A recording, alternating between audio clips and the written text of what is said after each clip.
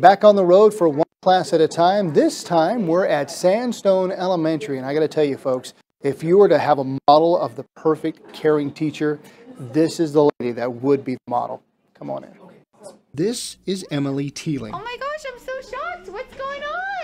a kindergarten teacher who lives by a personal motto you can do anything you put your mind to. Don't ever give up hope.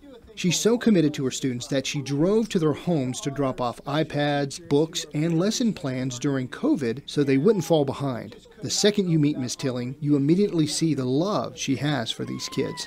The biggest thing for me as an educator is that they are capable of so many things. The big message that I want them to learn is that they're loved when they're in my classroom and that I'm so proud of them, that they can do anything that they put their minds to. So just as long as they keep that message and then hold on to their love of learning and just keep that going forward. For the love, kindness, and hope she showers upon her students in and out of the classroom, Mrs. Telling was presented with a $500 grant from the Billings Education Foundation and a $150 gift card from City Brew Coffee. Congratulations. If you'd like to nominate a teacher, just go to ktvq.com and click on the One Class at a Time tab at the top right of the page, and we could make a stop at your school next.